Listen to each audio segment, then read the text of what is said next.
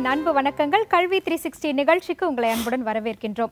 நம்ம நாட்டில் வந்து ஒரு காலகட்டத்தில் வந்து எல்லோருக்குமே கல்வி எல்லோருக்குமே படிப்பு அப்படின்ற அந்த முயற்சி எடுத்து அதை கிட்டத்தட்ட அந்த இலக்கை நம்ம அடைஞ்சிட்டு இருக்க இந்த தருணத்தில் அடுத்த ஸ்டெப் என்ன அப்படின்னு பார்த்தீங்கன்னா எல்லோருக்குமே வேலை வாய்ப்பு கிடைக்கணும் அப்படின்ற அந்த விஷயத்தில் நம்ம முனைப்போடு செயல்பட்டு இருக்கோம் ஆனால் இப்போவும் வந்து நிறைய இடங்களில் படித்த படிப்புக்கு சரியான வேலை கிடைக்கல அப்படின்ற ஒரு சூழல் தான் நிலவிட்டு இருக்கு படித்த படிப்புக்கே சரியான வேலை கிடைக்காத இந்த சூழலில் படிக்கும் போதே வேலை வாய்ப்பை நிச்சயமா பெற முடியும் வேலையை பெற முடியும் அப்படின்றத உறுதியா நமக்கு ப்ரூவ் பண்ணிக்கிட்டு இருக்க ஒரு துறை அப்படின்னு பார்த்தீங்கன்னா சேஃப்டி மேனேஜ்மெண்ட் தான். இந்த விழிப்புணர்வை தான் ஒவ்வொரு நாளும் நம்ம இந்த நிகழ்ச்சியின் மூலமாக கல்வி த்ரீ சிக்ஸ்டி நிகழ்ச்சியின் மூலமாக நேரலை மூலமாக நம்ம வந்து கொடுத்துட்ருக்கோம் ஸோ இந்த சேஃப்டி மேனேஜ்மெண்ட் பத்தி தான் இன்னைக்கு நம்ம வந்து தெளிவாக தெரிஞ்சுக்க போகிறோம் உலக நாடுகள்ல ஒரு முக்கியத்துவம் கொடுக்கப்பட்டு இதற்கான ஒரு படிப்பை ஏற்பாடு பண்ணி அங்க படிச்சிட்டு இருக்கிறத பார்த்து அது நம்ம நாட்டில் நம்ம மாணவர்களுக்கு ஏன் கிடைக்கல அப்படின்றத கேள்வி எழுப்புனது மட்டும் இல்லாமல் அதை பற்றிய முழு விவரத்தை விவரத்தையும் அவங்களே கத்துக்கிட்டு அதற்கான ஒரு கல்வி நிறுவனத்தை தனித்துவமா அதற்கென்றே பிரத்யேகமாக அமைத்த ஒரு நபர் தான் ஒவ்வொரு நாளும் உங்களுக்கான இந்த விளக்கத்தை தன்னுடைய அனுபவத்தின் மூலமா சொல்லிட்டு இருக்காரு ஐஐபிஹெச்எஸ் இந்த சேஃப்டி மேனேஜ்மெண்ட் காலேஜினுடைய தலைவர் வந்திருக்காங்க. திரு முருகானந்தம் அவர்களை தான் இன்னைக்கும் நம்ம வந்து சந்திக்க போறோம். வணக்கம் சார் வணக்கம்.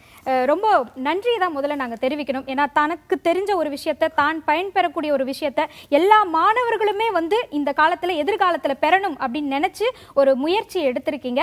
அதனால தான் என்னவோ நீங்கள் வந்து தமிழ்நாடு மாணவர் கல்வி மற்றும் வளர்ச்சி கூட்டமைப்பினுடைய பிரசிடென்டாகவும் நீங்க இருக்கிறீங்க. மாணவர்கள் மனதை அறிஞ்சு செயல்பட்டு இருக்கீங்க. இந்த முயற்சி எடுக்கும்போது நிறைய தடைகள் வந்திருக்கும். இதற்குனே நீங்க ஒரு பாடத்திட்டத்தை உருவாக்க வேண்டிய ஒரு சூழல் இருக்கும். ஏன்னா. ஒரு வழியை பயன்படுத்துறது எளிமை. ஆனா ஒரு வழியை உருவாக்குறது அப்படின்றது ரொம்ப சிரமம் தான்.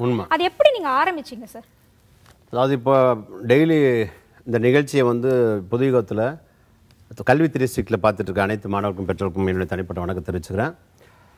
நல்ல மொதல் எடுத்தவொடனே கேள்வி கேட்டாங்க. இப்போது நிறைய பெற்றோர்கள் பெற்றோரும் சரி மாணவர்கள் சரி ஒரு பையன் அரியர் வச்சுருக்கான் அவங்க கவலைப்படுறான் நான் படிக்கலாமா? அவனுக்கு ரொம்ப தயக்கம். அவங்க அப்பா அம்மாவுக்கும் தயக்கம் என் பையன் அரியர் வச்சுருக்கான். ஒரு பையன் பாஸ் ஆகிட்டான் மார்க் குறைவாக இருக்கான் அவனுக்கும் தயக்கம். பாஸ் ஆனவனுக்கும் தயக்கம் ஃபெயில் ஆனவனுக்கும் தயக்கம். அதான் அந்த கல்வி உலக இப்போ எடுத்தோடனே சொன்னாங்க அந்த நிகழ்ச்சியில் வந்து இந்த உலகத்தில் இல்லாத எல்லா இடத்துலையும் இருக்குது ஆனால் இந்தியாவில் இந்த கல்வி இல்லை. ஒரு இன்னோவேட்டிவ் கரிக்குலம் வந்தாங்க புதிய கல்வி. புதிய கல்வி மட்டும் இல்லை வேலைவாய்ப்பை தரக்கூடிய கல்வி. வேலைவாய்ப்பை தரக்கூடிய கல்வி மட்டும் இல்லை யாரும் சிபாரிசு இல்லாமல் அதாவது என்ஜினியரிங் என்ஜினியரிங் நான் என்ஜினியரிங் படித்து முடிச்சும் பல ஆண்டுகள் வேலை தேடி கிடைக்காத ஒரு கல் வேலை கிடைக்காத இந்த காலத்தில் படித்தோன்னு வேலை என்ன சொல்ல போனால் படிக்கும்போது வேலைன்னா சேஃப்டி தான். இதை நான் லண்டன் பிரயாணம் ரெண்டாயிரத்தி அஞ்சில் லண்டன் போயிருந்தப்போ நான் வேறு பர்பஸ்க்காக போயிருந்தேன். அப்போ இதை பற்றி ஒரு கேள்விப்பட்டு வந்து இங்கே இந்தியாவில் ஆரம்பிக்கலாம் பார்த்தா இங்கே எந்த யூனிவர்சிட்டியுமே இல்லை. அப்புறம் திரும்பவும் படிக்காத லண்டன் போனேன். படிச்சுட்டு அங்கே போய் படிச்சுட்டு இங்கே வந்த பிறகு மூணு மணி நேரம் தான் படித்தேன் கிட்டத்தட்ட ஆயிரத்தி ஐநூறு யூகே பவுண்ட்ஸ் கட்டினேன் அப்போவே. அப்போ நான் நான் போன இதுலேயும் சொல்லியிருப்பேன். இப்போ இப்போ லண்டன் போகிறது எவ்வளோ கஷ்டம்? இன்றைக்கி லண்டன் போகிறது மிகப்பெரிய கஷ்டம். உங்கள் அக்கௌண்ட்டில் பத்து லட்சம் பணம் இருக்கணும். அது உடனே லண்டன் போகிறதுக்காக போய் டெபாசிட் பண்ணக்கூடாது. ஆறு மாதம் அதை நீங்கள் அக்கௌண்ட் மெயின்டைன் பண்ணணும். சரி ஒரு வழியாக படிச்சு வந்து எல்லா யூனிவர்சிட்டி நான் க- நான் போய் கதவு தட்டாத யூனிவர்சிட்டி இந்தியாவில் மேக்ஸிமம் ஏன்னா நான் மிலிட்டரியில் இருந்தனால நார்த் இந்தியா விட்டு எல்லாம் போயிட்டேன். எல்லா யூனிவர்சிட்டியும் போய் கதவு தட்டி நான் அதாவது இதுக்காக சொல்ல எதுக்காக பேரண்ட்ஸ்க்காக சொல்கிறேன் பையன் அரிய வச்சுட்டான்னு கவலைப்படுறீங்க. மார்க் குறைவாகிட்டான்னு கவலைப்படுறீங்க. என்னுடைய கதை கேட்டிங்கன்னு வச்சுக்கலாம் இந்த கல்வி உருவான கதை கேட்டிங்கன்னு வச்சுக்கோங்க. ஒரு பதினஞ்சு வருஷம் முன்னாடி மதுரை காமராஜ் யூனிவர்சிட்டியில் போய் நானும் என் மனைவியும் காலையிலேருந்து ஒரு வாரம் ஃபுல்லாக திங்கன்லேருந்து வெள்ளி வரைக்கும் காலையில் பத்து மணிக்கு போய் விசி சாரை பார்க்க போவோம். பார்ப்போம். வெயிட் பண்ண கூப்பிடுவோம்பாங்க. மத்தியானம் வரை வெயிட் பண்ணுவோம். அவர் சாப்பிட்டு வந்துருக்கம்பாங்க. வேறு யாராச்சும் வாட்ச்மேன் சொல் பியூன் சொல்லுவார் அட்டண்டர் சாப்பிடும்போது கூப்பிட்றாங்களோ கூப்பிட்டுவாங்களோ பயந்துகிட்டே சாப்பிட்டோம் அந்த அஞ்சு நாளுமே. கடைசி வரையுமே அஞ்சு நாள் கழிச்சு என்ன சொல்கிறாங்க சரி நீங்கள் நாளைக்கு அன்னைக்கு ஈவினிங் நாளைக்கு வாங்குவாங்க இப்படி அஞ்சு நாள் கழிச்சு இல்லை சார் இப்போ அஞ்சு நாள் கழிச்சு சொல்கிறாங்க இந்த இது நாங்கள் அப்ரூவல் தான் நாங்கள் பண்ண முடியாது. இது வந்து மேலேருந்து டெல்லியிலேருந்து வரணும் அப்படின்னு அனு அனுப்பிச்சிட்டாங்க. அப்புறம் ஒரு வழியாக நாங்களே ஒரு மேனேஜ்மெண்ட் சர்டிஃபிகேட் கொடுத்து சர்டி இது பண்ணோம். அந்த மேனேஜ்மெண்ட் கமர்ஷியல் ட்ரைனிங்கில் நாங்களே பயிற்சி கொடுத்து ஒரு மாதம் பயிற்சி கொடுத்தோம் அப்போல்லாம். ஒரு மாதம் பயிற்சி கொடுத்த இன்னைக்கு உலகம் முழுங்க இருக்காங்க. ஒரு ஒரு மாதம் பயிற்சி எடுத்துட்டவங்க. ஏன்னா அவங்களும் வெறியோடு படிச்சாங்க. இல்லை அப்படி வரும்போது இப்போ ஒரு பதினஞ்சு வருஷத்துக்கு அப்புறம் அப்புறம் ஒரு சீஃப் செக்ரட்டரி ஃபார் ஹையர் எஜுகேஷனை சந்திச்சு என்னோட திட்டங்களை சொன்னேன் அவர் ஆமோதிச்சு ஃபஸ்ட்டு அண்ணா யூனிவர்சிட்டியில் அப்ரூவல் பண்ணாங்க இதை. நல்ல கல்வி வச்ச இது நீங்கள் லேட்டாக வந்தீங்கன்னு என்ன கேட்டாங்க. உண்மையிலே அந்த சீஃப் செக்ரட்டரிக்கு நான் வணக்கம் தெரிவிச்சுக்கிறேன். அதன் பிறகு என்ன பண்ணாங்கன்னா ஒரு அழகப்பா யூனிவர்சிட்டியில் அதை அப்ரூவல் பண்ணாங்க அதை. இப்போ லாஸ்ட் இயர் ஒரு ஆறு மாதத்துக்கு கொரோனாக்கு ஒரு ரெண்டு மாதத்துக்கு முன்னாடி மதுரை காமராஜ் யூனிவர்சிட்டி எனக்கு ஒரு அழைப்பு வந்துச்சு ஃபோனில் சார் முருகானந்த் சார் ஆமாம் சொல்லுங்கள் சார். ஸோ அந்த சேஃப்டி மேனேஜ்மெண்ட் சம்மந்தமாக அந்த சிலபஸ் சார் நீங்கள் கொஞ்சம் ஃப்ரேம் பண்ணி தர முடியுமா அப்படின்னாங்க. எனக்கு ஒன்று பதினஞ்சு வருஷம் ரீமைண்ட் ஆச்சு. நான் மனை என் மனைவியும் திரும்பி போனோம் பதினொன்று அதாவது safety management Madurai Kamaraj university இந்த சிலபஸ் எக்ஸ்பர்ட் கமிட்டியோட மெம்பரான போட்டிருக்காங்க. நான் போனப்போ பதினோரு மணிக்கு மீட்டிங் அரை மணி நேரம் லேட்டு போன பெரிய மிகப்பெரிய பேராசிரியர்கள் மிகப்பெரிய ஐ மீன் um, பொறுப்பாளர் பதவியில் உள்ளவங்கலாம் இருக்காங்க. அப்படி இருக்கும்போது நான் போய் மன்னிப்பு கேட்டேன். அரை மணி நேரம் லேட் ஆச்சு அரை மணி நேரம் வந்து அப்போ தான் மதுரைக்குள்ளே என்ட்ரு அங்கே மணி அங்கேயே பதினொரு மணி ஆச்சு. போய் மன்னிச்சுங்க சார் அரை மணி நேரம் லேட் ஆச்சு அப்படின்னேன் அப்போ அவங்க சொன்னாங்க இந்த விஷயத்தை நான் ஏற்கனவே சொல்லிட்டேன். கூப்பிடும்போதே ஃபோன்லேயே சொல்லிட்டேன். சார் பதினஞ்சு வருஷம் முன்னாடி உங்கள் யூனிவர்சிட்டி வந்தேன். விரட்டி விட்டீங்க. அப்படின்னு சொல்லி சொன்னேன். அதை அவங்க புரிஞ்சுக்கிட்டாங்க. அப்போ நான் இப்போ மீட்டிங்கில் போய் சாரி சொன்னேன். அரை மணி நேரம் லேட்டுன்னு அப்போ சொன்னாங்க நாங்கள் தான் சார் சாரி சொல்லணும். பதினஞ்சு வருஷம் முடியும் எங்கள் யூனிவர்சிட்டி வந்தீங்க. அப்போயே நாங்கள் வாங்கியிருக்கணும். இப்போ நாங்கள் எங்க ஏதாவது நீங்கள் பதினஞ்சு வருஷம் காத்துறீங்க. உங்களுக்காக நாங்கள் அரை மணி நேரம் காத்திருக்க தப்பில்லை அப்படின்னாங்க. ஸோ உண்மையிலே அந்த பேராசிரியருக்கும் அந்த வாய்ப்பு கொடுத்த துணைவேந்தர் மதுரை காமராஜ் யூனிவர்சிட்டி மற்றும் அழகப்பா யூனிவர்சிட்டி துணைவேந்தர் மற்றும் அண்ணா யூனிவர்சிட்டி துணைவேந்தர் மற்றும் சீஃப் செக்ரட்டரி எல்லாருக்குமே என்னுடைய வணக்கத்தை தெரிவிச்சுட்டு இப்போ ஒரு கல்வி உங்களுடைய கையெழுத்து உங்களுடைய இந்த பொறுப்புள்ள உங்களுடைய கையெழுத்து இன்னைக்கு பல மாணவர்களுடைய பல குடும்பங்களுடைய தலையெழுத்து அப்படின்னு சொல்லலாம். உண்மையிலே உங்களுடைய பொறுப்பானவருடைய கையெழுத்து இன்னைக்கு பல குடும்பத்தோட தலையெழுத்து நல்லபடியாக மாற்றி வச்சிருக்கு. ஸோ ஒன்லி நான் மட்டுமே காரணம் கிடையாது. இரும்பு ரொம்ப ஸ்ட்ராங்காக இருக்குது மண் ஸ்ட்ராங் இல்லை. மண் வீடு கட்டலாம் ஒரு மண்ணில் வீடு கட்டுறோம். இதை இடிச்சிட்டு நம்ம சிமெண்ட் கட்டுறோம். சிமெண்ட்டில் வந்து காங்கிரீட் பில்டிங் அந்த காங்கிரீட்லேயுமே இரும்பையும் நம்ம தான் மண்ணை சேர்க்குறோம். மண்ணு தான் ஸ்ட்ராங் இல்லைன்னு இரும்பு தான் ஸ்ட்ராங்குன்றீங்க அப்புறம் எதுக்கு நான் மணல் அள்ளி போடணும்? இது மாதிரி தான் ஒவ்வொருத்துக்கும் ஒரு குணம் இருக்குது சார் நான் அந்த என்னதான் நான் வந்து பாடத்திட்டத்தை வகுத்து தொகுத்து கிட்டத்தட்ட பதின ஒம்பது மாதம் அந்த சிலபஸ் ரெடி பண்ணேன் காலையில் ஆறு மணிலேருந்து நைட்டு ஒன்று பன்னெண்டு மணி ஆயிரும். ஒரு பதினஞ்சு பதினாறு பதினாறு ஸ்டாஃப் உட்காந்து எல்லா மணி யூனிவர்சிட்டியில் கொடுக்கும்போது பார்த்தீங்கன்னா இது வந்து பாடத்திட்டம் அதிகமாக இருக்குது குறைச்சி கொடுங்க அதை குறைக்கிறதுக்கு மூணு மாதம் உட்காந்து கிட்டத்தட்ட பதினஞ்சு மாதம் உட்காந்து இந்த சிலபஸ் ரெடி பண்ணி சிலபஸ் ரெடி பண்ணி அதை அக்செப்ட் பண்ண மீண்டும் அனைத்து பல்கலைக்கழக அதிகாரிகளும் என்னோட வணக்கம். அதை அப்படிலாம் உருவாக்கணும். இன்றைக்கி பல மாணவர்கள் படிச்சுட்டு பல நாடுகளில் நான் இல்லாத நாடுகளில் ஒர்க் பண்ணிட்டு இருக்காங்க. உண்மையிலே அதுக்கு நான் மட்டுமே முழுக்க காரணங்களில் அதை அங்கீகரித்த அனைத்து அரசு உயரதிகள் காரணம். அவங்களோட சேர்த்து உங்களுடைய துணைவியாருக்கும் என்னுடைய பாராட்டுகளையும் நான் நிச்சயமா. கண்டிப்பா. இப்போ நீங்க வந்து நாட்டு எல்லையில நாட்டு எல்லையை பாதுகாக்கணும் அப்படின்றதுக்காக கன்னை வந்து கையில எடுத்தீங்க. இப்ப நாட்டுக்குள்ள வந்த பிறகு பாத்தீங்கன்னா பெண்ணை வந்து கையில எடுத்திருக்கீங்க. எப்படி சார் இது? கன்னும் பெண் ரெண்டுமே ஷார்ப்பாக தான் இருக்குது ஆமா. இங்கே பெண்ணும் ஷார்ப்பாக இருக்கு. ஒன்றும் பிரச்சனை இல்லை இல்லையா? அது என்ன என்னதான் கன்று வந்து ஷார்ப்பாக இருந்தால் கூட அந்த கன்னை ஆப்ரேட் பண்ணுறது ஒரு பெண் கையெழுத்து போடணும். ஒரு பெண்ணில் கையெழுத்து போட்டால் தான் கன்னை எனக்கு பிடிக்க முடியும்னு வச்சுங்களேன் I mean to be frank உண்மையிலேயே வந்து நான் ராணுவத்தில் வந்து கன் மெக்கானிக்கிற வாய்ப்பு தான் கிடச்சி. நான் வந்து ஆர்மரன்னு சொல்லுவாங்க. அது மூன்றாண்டு படிச்சுட்டு வேரியஸ் கன் அதாவது வாழ்க்கையில் வந்து இன்னைக்கெல்லாம் வந்து நம்பிக்கை பரீட்சையில் ஃபெயில் ஆகிட்டுன்னு சூசைட் தற்கொலை பண்ணிக்கிறாங்க. அம்மா அப்பா மொபைல் வாங்கி தரணும்னு தற்கொலை பண்ணிக்கிறாங்க. சின்ன வயசில் ஒரு போலீஸ்கார பையன் நான் ஒரு ஒரு பொம்மை துப்பாக்கி கூட வாங்க முடியாது. ஏன்னா பெரிய குடும்பம். இருந்தாலும் அப்போவே அப்பாவோட கஷ்டங்களை புரிஞ்சுக்குவாங்க நான். ராணுவத்தில் போய் கன் மெக்கானிக் ஆகும்போது various machine gun I mean AK forty seven light machine gun MMG rocket launcher SLR இப்படி ஏகப்பட்ட கன் பார்க்கும்போது எனக்கு சின்ன வயசு ஞாபகம் வச்சு ஏதோ நான் அது சின்ன வயசு ஏக்கமாக போயிடுச்சு. என் சிறு வயசில் வந்து ஒரு தீபாவளிக்கு ஒரு துப்பாக்கி வெடிச்சு கிடையாது. ஆனால் அதன் என்ன எதுக்காக சொல்கிறேன்னா சின்ன சின்ன விஷயங்களை நிராகரித்து ஆண்டவன் நிஜமான கண்ணை கையில் கொடுத்தான். இப்போ ஒரிஜினல் கண்ணு என்ற கையில் இருக்குது லைசன்ஸ் கண்ணு இருக்குது அது மாதிரி மாணவர்களாகி நீங்கள் என்ன பண்ணுவோம்னாக்க சின்ன சின்ன விஷயத்துக்கு அப்பா ஃபோன் வாங்கி தரல அப்பா அது வாங்கி தரல அது இது சின்ன சின்ன விஷயத்துக்காக என்ன பண்ணால் மன அதாவது அதாவது இந்த உலகம் நமக்காக கொடுக்கறது நிறைய வச்சுருக்கு. அதாவது take time to live because the world has so much to give ஒவ்வொரு மாணவர்களும் ஒவ்வொரு மனிதர்களுமே இந்த அதாவது இதுவே வாழ்க்கையில் தோல்வியே முடிவில்லை. அது இன்னொரு கூட இன்னொரு வெற்றியோட ஆரம்பமாக இருக்கலாம். அதனால் என்ன அருமையாக மாணவர்களே நேற்று டென்த்து ரிசல்ட் வந்திருக்கு. நேற்று ஒரு அப்பா ஒருத்தர் பண்ணார். ரெண்டு பையன் படிச்சிருக்கான். அதில் ஒருத்தர் பையன் ஃபோர் சிக்ஸ்டி நைன் அதை காமிச்சிட்டார். இன்னொரு பையன் ஃபோர் ஹண்ட்ரட் சம்திங் அந்த பையன் அபோவ் ஃபோர் ஹண்ட்ரட் தான். அதை கேட்டால் தான் சொல்கிறார் என்ன காரணம்? ஃபியூச்சரில் வந்து அதிகமான மார்க் வாங்கல தான். அதனால் இது வந்து தா நம்ம தாய் தான் எங்கள் நம்ம இப்படி சொல்லக்கூடாது? பையனே ஃபெயில் ஆகிட்ட கூட என் பையன் வந்து tenth exam plus two exam பண்ணும்போது மறுநாள் எக்ஸாம் டேரியும் ஒரு நாள் கூட டிவியில் ஆஃப் பண்ண கிடையாது. டேரியும் அவன் சொன்னான் அப்போ நான் ஃபிலிம் போகணும் போயிட்டு வா அப்படின்னு. கான்ஃபிடென்ட் அவனுக்குள்ளே கான்ஃபிடென்ட்டாக சினிமா போயிட்டு வான் இப்போ லா காலேஜ் படிச்சுட்டுருக்கான் எதுக்காக சொல்கிறேன் அப்படின்னாக்க நம்ம என்ன நினைக்கிறோமோ அதுதான் நடக்கும். நம்ம பையன் ஜெயிப்பான் அப்படின்னு நினச்சா ஜெயிப்பான். நம்ம பையன் மேலே நமக்கே நம்பிக்கைலாம் எப்படி ஊறணும் நம்ம? ஸோ மைடியர் பேரண்ட்ஸ் பெற்றோர்களே தயவு செய்து உங்கள் பையன் அரியர்ஸ் வச்சுனாலும் சரிதான். அரியர்ஸ் வச்சுட்டான்.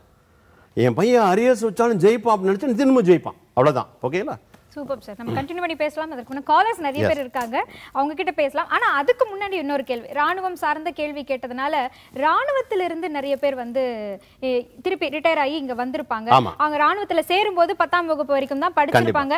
அதுக்கப்புறம் வந்து அவங்களுடைய ஹைட் வெயிட் அதை வச்சு அவங்களுக்கு அங்க வாய்ப்புகள் கிடைச்சிருக்கும். அதை முடிச்சுட்டு அவங்க திருப்பி வரும்பொழுது திரும்பவும் அவங்களுடைய வாழ்க்கையை வந்து பழைய நிலையிலிருந்து வாழணும் அப்படின்னு ஆசைப்படுறாங்க.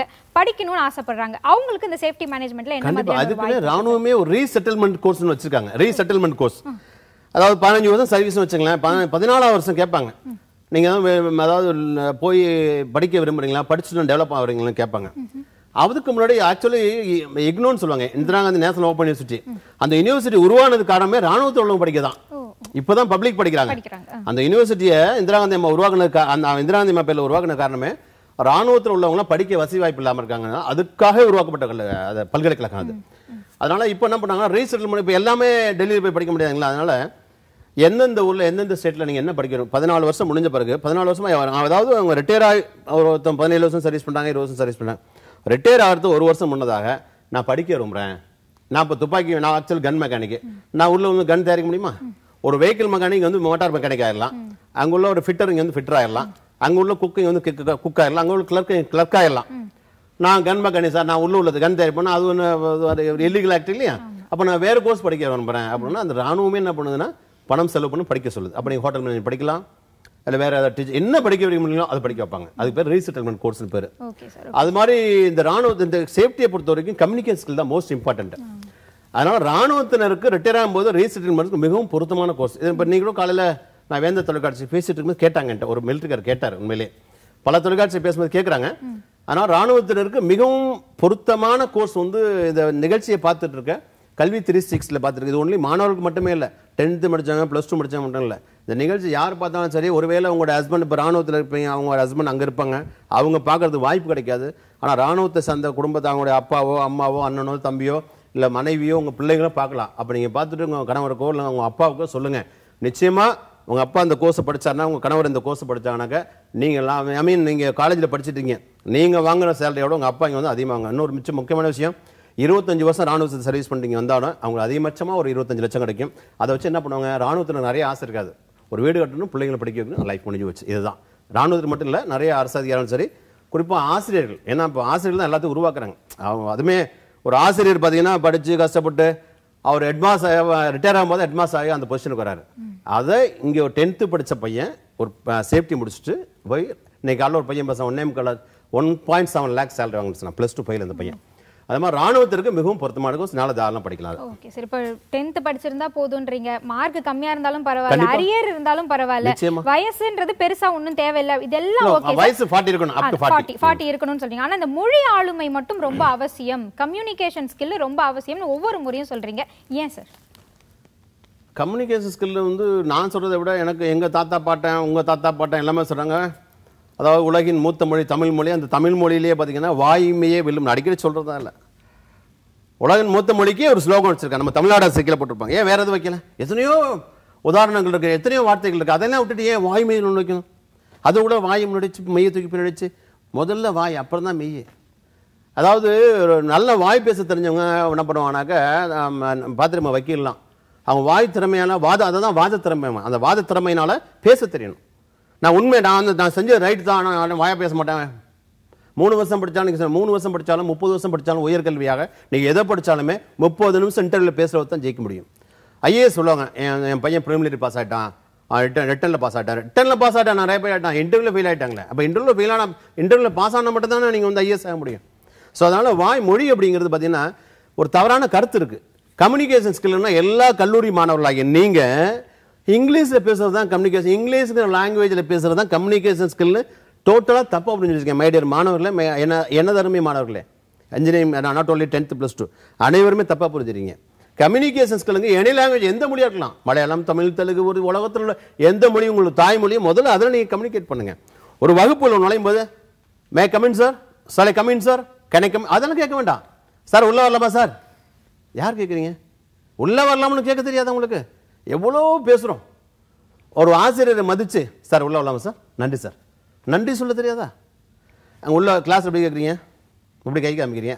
சார் அங்கேயே நின்று போயிருந்தாங்க. ஸோ அதனால கம்யூனிகேஷன் ஸ்கில் இருந்தா நாட் only சேஃப்டி நீங்க எதை படிச்சாலுமே கம்யூனிகேஷன் ஸ்கில் இருந்தா மட்டும் தான் ஜெயிக்க முடியும். அதாவது முன்னோர்கள் சொன்னாங்க வசதி உள்ள புள்ள பிழைக்க மாட்டாங்க வாயில் ஆமா. தான் பிழைக்கும். ரோல்ஸ் ராய்ஸ் கார் உள்ள அதாவது பேங்க்ல பேலன்ஸ் உள்ள புள்ள பிழைக்க மாட்டாங்க. வாயுல வாயுள்ள புள்ள மட்டும் தான் பிழைக்கும் அது படிப்பை விட வாய் ரொம்ப முக்கியம். சார் நம்ம அதை பத்தி கண்டினியூ பண்ணலாம். ஒரு கால் இருக்காங்க சார் பேசிடுவோம். வணக்கம். வணக்கம் கல்வி த்ரீ சிக்ஸ்டி நிகழ்ச்சி. உங்க பெயர் சொல்லுங்கம்மா. ஹலோ மேடம் நான் வெற்றியில் பேசுறேன் மேடம் எங்கிருந்து பேசுறீங்க சார் கரூர்ல இருந்து பேசுறேன் மேடம் உங்க கேள்விகளை கேட்கலாம். சொல்லுங்க வெற்றி.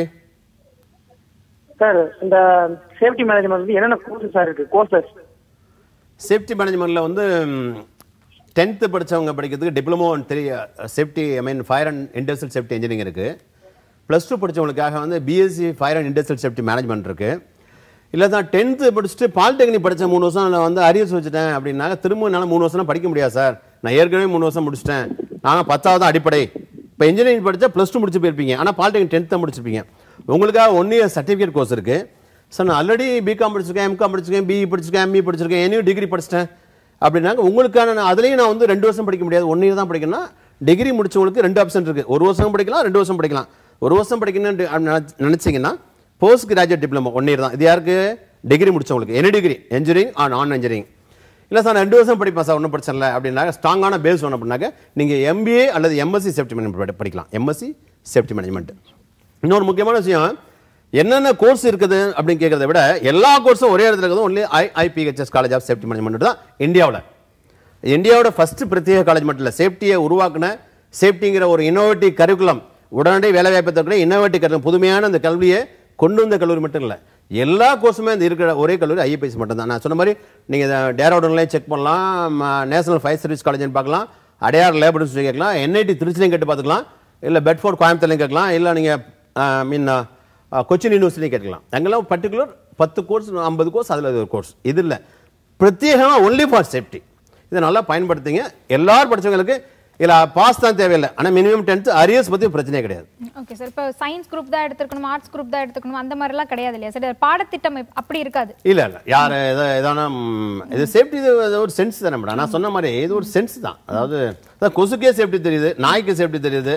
இல்லைங்களா? ஸோ சேஃப்டிங்கிறது நான் சொன்னேன் அண்டங்காக்கா கதையை சொன்னேன். அது என்னன்னா இப்போ சாப்பாடு வைக்கும்போது டப்புன்னு காக்கா வந்து உட்காந்து நம்மளே காக்கான்னு காக்கா அது பாசையில் நம்ம கொத்தி கத்தி தான் கூப்பிடுவோம். வந்து எட்டி உட்காந்து பார்த்து எல்லா காக்காவும் ஒரு ஒரு டிஸ்டன்ஸ் கீப் பண்ணி உட்காந்துருக்கோம். என்ன பண்ண சொன்னோம்ல சோசியல் டிஸ்டன்ஸ்னு அது சோத்துக்கே டிஸ்டன்ஸ் வச்சிருக்கு இல்லைங்களா? சோத்துக்கே டிஸ்டன்ஸ் செஞ்சு உட்காருது. பார்க்கும். எப்படா சோறு வச்சு எட்டி போவானு. எட்டி போனவன் சோத்து பக்கத்து ஸோ அந்த சாப்பாடு பக்கத்தில் வந்து உட்காந்தா கூட உடனே கொத்தாது. பக்கத்தில் உட்காந்து இப்படி பார்க்கும். நம்மளை பிடிக்கிறதுக்காக வைக்கிறாங்களா? உண்மையிலே நமக்கு இறக்கப்பட வைக்கிறாங்க அப்போ சரி இதுக்கு என்ன? எல்லா உயிரினங்களுக்குமே இப்ப நல்லா பாம்பு போது கொத்துதுன்னா சும்மா கொத்தா போயிட்டே இருக்கும்போது கொத்திட்டே போமா அது சீண்டு தான் கொத்தும். சேஃப்டி தேல் சும்மா கொடுக்கறதுக்குமா? தேல் இருக்கு இல்லையா? அது கூட எப்போ கொடுக்கறதுக்குன்னா நம்ம அவர் பாதுகாப்பு. ஸோ சேஃப்டி அப்படிங்கிறது இது படிப்பு அல்ல. பேசிக்காக அது ஒரு சென்ஸ் அது எல்லா உயிரின தொட்டாச்சு நீங்கள் இருக்கு. ஒரு செடி. தொட்டா சரன்னு சுருங்கிக்குது. ஆமை கிட்ட போனால் என்ன பண்ணும்? சரன்னு உள்ள தலையெழுத்துக்குது நத்தை கிட்ட போனால் உள்ள தலையெழுத்துக்குது அது பாதுகாப்பு. பாதுகாப்பு என்பது எல்லா உயிரினங்களுக்கும் ஒரு உயிர் ரெண்டு உயிர் மூணு உயிர் என்ன அதாவது அஞ்சு ஆறு அறிவு உள்ள எல்லாத்துக்குமே ஒரு சென்ஸ் அதனால் இதை படிக்கிறதுக்கு ஆல்ரெடி நம்மக்கிட்ட இருக்கு. இருக்கிறத படிக்கிறது தான் ஆல்ரெடி எல்லாத்தையும் இங்கிலீஷ் இருக்காது ஆல்ரெடி எல்லாத்தையும் மேத்தமெட்டிக்ஸ் இருக்காது ஆல்ரெடி எல்லாத்தையும் சயின்ஸ் இருக்காது. ஆனால் ஆல்ரெடி எல்லாத்தையும் பாதுகாப்பு உணர்வு. இது குழந்தைய பாருங்க அதாவது குரங்கு குட்டியை பாருங்களேன் என்ன பண்ண டக்குனு அம்மா பிடிச்சிக்குது. இல்லைங்களா? எல்லாருக்குமே பாதுகாப்பு. அம்மா அம்மா பக்கத்தில் குழந்தை பார்த்தீங்கன்னாக்க என்னன்னா அம்மா பக்கத்தில் இருந்தால் குழந்தை அழாது இப்போ நீங்கள் பார்த்துருப்போம் ஃபங்க்ஷனில் அம்மா விட்டு கொஞ்சம் டிஸ்டன்ஸ் நான் அழ ஆரம்பிச்சிடும் திரும்பி அம்மாட்ட கொடுத்துருவோம். ஸோ பாதுகாப்புங்கிறது ஆல்ரெடி நம்மகிட்ட இருக்கிறதுனால படிக்கிறது ரொம்ப ஈஸி ஓகே சார் இப்போ படிக்கிறது பிரச்சனை இல்ல மதிப்பெண்கள் பிரச்சனை எல்லாம் ஓகே சார் சரி. பட் நீங்க என்ன சொன்னீங்க? நீங்க படிக்கிறதுக்காக போகும்போது பல பவுண்ட்ஸ் செலவு பண்ணி போனீங்க. காஸ்ட்லியான ஒரு படிப்பு அப்படின்னு. சொன்னீங்க. அப்ப இங்க படிக்கிறதுக்கும் அது வந்து ரொம்ப காஸ்ட்லியான படிப்பா இருக்குமா? அதை எங்களால அஃபோர்ட் பண்ண முடியுமா? சாதாரண ஒரு இடத்துல இருந்து வரக்கூடியவங்க இதை எப்படி சார் எடுத்து படிக்க முடியும்? உண்மையிலே சேஃப்டி காஸ்ட்லாம் படிப்பு தான். இன்றைக்கும் ஃபாஸ்ட் ட்ராக் கோர்ஸ் நடத்த தான் செய்கிறாங்க ஒம்பது நாள் படிக்கிறதுக்கு பெட் ஐயா அந்த இன்சூ அதுக்கு ஆக்சுவலி இன்ஸ்டியூஷனே கிடையாது. ஒம்பது நாள் படிக்கிறது பார்த்தீங்கன்னா ஐம்பதாயிரரூபா ஐம்பத்தையாயிரரூபா. பதினஞ்சு நாள் படிக்கணும்னா ஒன் பாயிண்ட் ஃபைவ் லேக்ஸ் ஆனால் எங்களை பார்த்தீங்கன்னா ஆறு மாதம் படிக்கிறதுக்கு அந்த ஃபீஸ் தான். அதாவது கிட்டத்தட்ட ஒரு ஸ்கூலில் சென்னையில் திருச்சியில் திருநெல்வேலியில் ஒரு சின்ன சின்ன நகரங்களில் ஒரு ஸ்கூலில் எல்கேஜி யூகேஜிக்கு என்ன ஃபீஸ் வாங்குறாங்களோ அந்த ஃபீஸை தான் அந்த ஐஏபிசி கல்லூரியில் வாங்குறாங்க. நீங்கள் அந்த நிகழ்ச்சியை பார்த்துட்டு இருக்கிற மாணவர்களும் பெற்றோர்களும் பார்த்தீங்கன்னாக்க அதாவது எங்களோட எண்ணங்கள் வந்து இந்த இந்த கல்வியை கொண்டு வந்து இந்த கல்வி மூலியம் கல்வியை வியாபாரம் பண்ணி காசு பணம் எல்லாத்துக்கும் தேவை தான் ஆனால் காசு பணம் மட்டுமே தேவையில்லை. கல்வி வியாபாரம் அது இல்லை. அதாவது நான் சொல்ல நான் ஒரு மிலிட்டரிக்காரன். பேசிக்கலாக சன் ஆஃப் போலீஸ் அப்படிங்கிற மாதிரி உங்களுக்கு எங்களுக்கு லிமிட் எண்ணங்கள் ராணுவத்துக்கு போயிட்டால் எல்லாமே லிமிட் பண்ணிடுவாங்க. ராணுவத்துக்கு பெரிய ஆசை இருக்காது. ஒரு வீடு கட்டணுமா பிள்ளைகளை படிக்க வச்சோமா ஏதாவது வேலை பார்த்தா வாழ்ந்தோமா நாட்டுக்கு சேவ் பண்ண நினச்சோமா தா- அது என்ன, தாய் வீட்டுக்கும் தாய் நாட்டுக்கும் சேவ் பண்ணுமா அதே பெரிய பாக்கியம். ஸோ இந்த கல்வி இல்லை அது இங்கே இந்தியாவுக்கு கொண்டு வந்து இந்த கல்வி ஏன் இல்லைங்க மேடம் ஒரு கேள்வி கேட்டாங்க. ஏன் நம்ம நாட்டில் இந்த கல்வியில் ஒரு கேள்வி எனக்கு எழுந்துச்சு? அந்த கேள்வியோட சக்ஸஸ் இன்னைக்கு முடிஞ்சுட்டேன். இன்னைக்கு கிட்டத்தட்ட பதினஞ்சாயிரம் இருபதாயிரம் இருபதாயிரமான உலகங்க இருக்காங்க. இதோட பெரிய சந்தோஷம்னா ஒரு காலத்தில் என் வீட்டை காப்பாற்றினேன் ஒரு காலத்தில் நாட்டை காப்பாற்றினேன் என்னுடைய மாணவர்கள் இன்னைக்கு எல்லாருக்கும் நான் கா மாணவர்கிட்ட வாங்கின ஃபீஸ் அன்னைக்கு மறுநாளே கரைஞ்சு போச்சு. செலவாயிடுச்சு. ஆனால் இன்றைக்கி காலையில் போய் நிறைய டெய்லி ஒரு தான் பேசுகிறாங்கன்னு வச்சுக்கலாம் என்னுடைய மாணவர்கள் நல்ல நிலைமையில் இருக்காங்க. ஃபேமிலியோட குடும்பத்தோட செட்டிலாக இருக்காங்கன்னு நினைக்கும் போது அதுதான் எனக்கு கிடைச்ச மிகப்பெரிய சொத்து. அதனால் வந்து சேஃப்டி காஸ்ட்லியான படிப்பு இன்றைக்கி காஸ்ட்லியான படிப்பு தான். ஆனால் அதெல்லாம் இல்லாமல் ஒரு ஸ்கூல் ஃபீஸ் மாதிரி ஒரு ஒரு டேர்முக்கு இந்த கவர்மெண்ட்டே என்ன சொல்லியிருக்காங்க? மூணு டேர்ம் அவங்க சொல்லியிருக்காங்க கொரோனா வந்ததுனால. ஆனால் இந்த ஐஏபிஜிஎஸ் கல்லூரியில் நாலாம் வாங்கி சொல்லுவாங்க அதை கூட இன்னும் குறைச்சி நாலு டேர்ம் வாங்கிக்கன்றாங்க ஜஸ்ட்டு இருபத்தி ஆறாயிரத்தி ஐநூறுரூபா twenty six thousand five hundred விசாரிச்சேன் நான். ஏன்னா ஆல்ரெடி நான் ஒர்க் பண்ணிட்டு போது ரெண்டாக வாங்கிட்டு இருந்தாங்க. இப்போ நான் ரிசைன்மெண்ட் அந்த இயர் நான் வந்து பதினஞ்சு வருஷம் பதினாறு இருபது வருஷம் பத்தொம்பது வருஷம் நினைக்கிறேன் சர்வீஸ் பண்ணிட்டு வந்துட்டேன் இரு twenty six thousand five hundred rupees charge பண்ணுறாங்க இருபத்தாறாயிரத்தி ஐநூறுரூபாய்க்கு சென்னையில் சாதாரண வேற அந்த படிப்பு போய் ஜா இருபத்தாறாயிரத்தி ஐநூறுரூவா கொண்டு போனீங்கன்னா ஐபிஎஸ் கல்லூரியில் சென்னை விரும்பக்கமாக இருக்கட்டும் அல்லது அவ்வளோ பெரிய கல்லூரியில் புதுக்கோட்டை நீங்கள் ஜாயின் பண்ணலாம். வேற எந்த கல்லூரியில் ஜாயின் பண்ணணும்? நீங்களே யோசனை பண்ணி பாருங்க. ஓகே சார் அது ஃபீஸ் முக்கியம் இல்லை. உங்களோட ஃபியூச்சர் தான் முக்கியம். கண்டிப்பா சார் ஒரு கால் இருக்காங்க பேசுவோம் சார் வணக்கம். வணக்கம் கல்வி த்ரீ சிக்ஸ்டி நிகழ்ச்சி. உங்க பெயர்? சார் என் பேர் திருமுருகன். திருமுருகன் சார் எங்கிருந்து பேசுறீங்க? சார் நான் பாண்டிச்சேரி. உங்க கேள்விகள் கேட்கலாம் சார் சொல்லுங்க திருமுருகன். ஆ சார் இது எங்க ஃப்ரெண்டு ஒருத்தன் பாண்டிச்சேரி இன்ஸ்டியூட்ல பண்ணான் சார் சேஃப்டி சரி. அது நம்ம இங்க இன்ஸ்டியூட்ல பண்ணிட்டு அவன் அப்ராட் போனான் சார் சரி. அவனுக்கு வந்து இங்க கத்துக்கிட்டது அந்த அளவுக்கு அவங்க ஸ்கில் பத்தலன்னு சொல்றான். உண்மை. ம். ம். ஓ இங்கே உங்க காலேஜ்ல இல்லை எங்கள் காலேஜில் சொல்லுவேன் கிட்டத்தட்ட போன நிகழ்ச்சி சொன்னேன் மிஸ்டர் திருமுருகன். சார் அதாவது மாணவருடைய எண்ணங்களே அதாவது காமராஜர் ஆட்சி வழங்கணும் காமராஜர் ஆட்சி வழங்கணும் காமராஜ் மாதிரி ஆட்சி தரல அப்படின்னு அரசியல்வாதியை குறை சொல்றதை விட அப்போ இருந்த மக்கள் நேற்று வாட்ஸ்அப்பில் ஒன்று பார்த்தேன். நம்ம முறையாக நல்ல வாக்காளர் இருக்கணும் நல்ல குடிமகனாக நம்ம இருக்கணும் நம்ம நல்ல குடிமகனாக இருந்தோம்னா நமக்கு நல்ல தலைவர் கிடைப்பாங்க மாதிரி. அதாவது எதுக்காக ஒரு நூறு ரூபாய்க்கு டிக்கெட் எடுக்க சினிமா தேட்டர் போகிறோம் நைட்டு பத்து மணிக்கு ஓடுறோம். நைட்டு பத்து மணிக்கு செகண்ட் ஷோ பார்க்க நூறு நூற்றம்பது ரூபா செலவு பண்ணிட்டு போகிறோம் காலையில் பத்து நைட்டு பத்து மணிக்கு சினிமா தேட்டருக்கு ஓடுறோம் நிற்காம ஆனால் காலையில் பத்து மணிக்கு நடந்து கூட போக மாட்டேன் காலேஜுக்கு அது நான் அது பொழுதுபோக்கு இது பொழப்பு. எந்த படம் பார்த்தீங்கன்னு உங்களுக்கு வேலை தர மாட்டாங்க. ஆனால் என்ன படிச்சீங்க எடுத்து தான் வேலை தருவாங்க. இல்லைங்களா? படத்துக்கும் பாடத்துக்கும் துணைக்கால் தான். படத்திலே துணைக்கால் இல்லை. ஆனால் பாடத்தில் துணைக்கால் இருக்குது அதுதான் நமக்கு கல்வியாக கடைசி வரை நிற்கும் கற்க கசடர கற்பவை கற்றப்பின் அந்த குரல் துணைக்காலம் இருக்காது. ஏன்னா படிச்சவனுக்கு எந்த துணையும் தேவையில்லைன்னு. ஆனால் இப்போ படித்தவனுக்கு எல்லா துணையும் தேவைப்படுது. மிஸ்டர் திருமுருகன் நல்ல கேள்வி கேட்டீங்க. பாண்டிச்சேரியில் ஒரு இன்ஸ்டியூட்டில் படித்தார் அவங்க படித்த ஸ்டஃப் இல்லைன்னு சொல்லிட்டாங்க அப்படின்னு. எங்கே படித்தாலும் சரி அதான் சொல்லலை. ஒரு அரசு பள்ளிக்கூடத்தில் ஒரு வாத்தியார் பா ஒரு ஆசிரியர் பாடம் நடத்துகிறாங்க அந்த அந்த பள்ளிக்கூடத்துல படிச்சு வர மாணவன் ஒரு ஒரு பையன் கலெக்டர் ஆகிறான் ஒரு பையன் மூட்டத்துக்கு சு சுமை தூக்கும் தொழிலாளியாக இருக்கான். ஒரு பையன் ஆட்டோ ஓட்டுறான். என்ன காரணம்? அந்த ஆசிரியர் வந்து யாருக்கும் ஓரவஞ்சனா சொல்லித் தரல நம்ம என்ன எப்படி கல்விக்கு முக்கியத்துவம் கொடுத்தோம்? நம்ம கல்வியை சில பேர் பார்த்தீங்கன்னா நான் ஒரு நாள் நான் படிச்சுட்டு இருக்கும்போது ப்ளஸ் டூவில் பார்த்தீங்கன்னா ரெண்டு வேளை பட்னி சாப்பிடல வசதி இல்லை.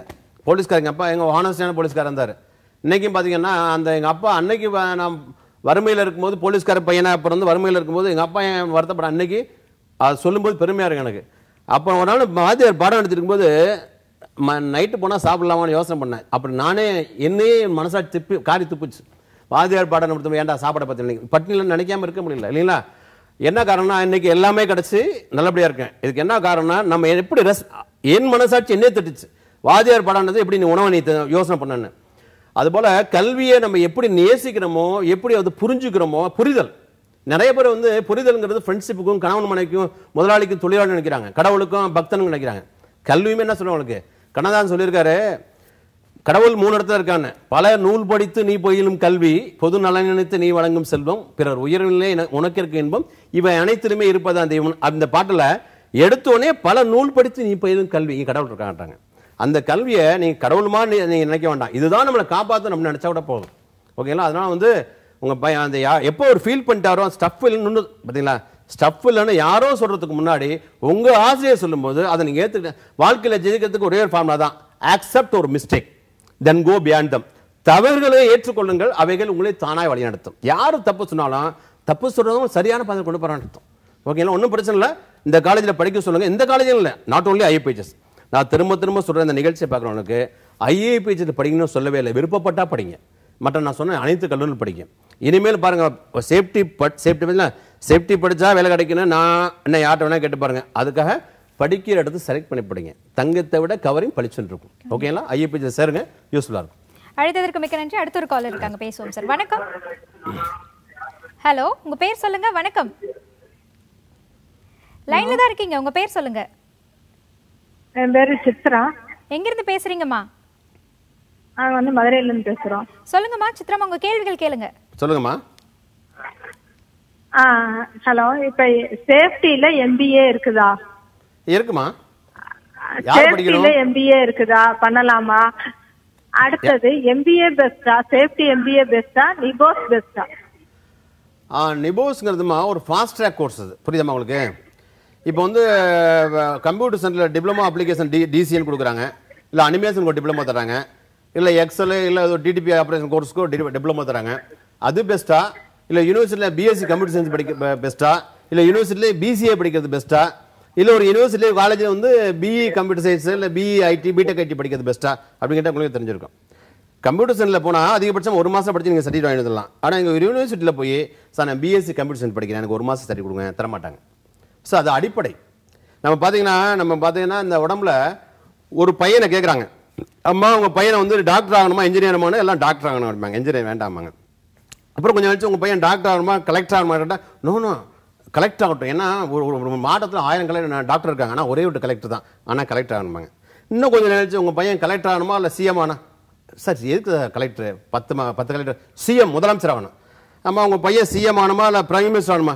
சார் நாட்டுக்கே தலைவர் பிரைம் மினிஸ்டர் ஆகணும். கடைசியாக அந்த அம்மாட்ட கேளுங்க.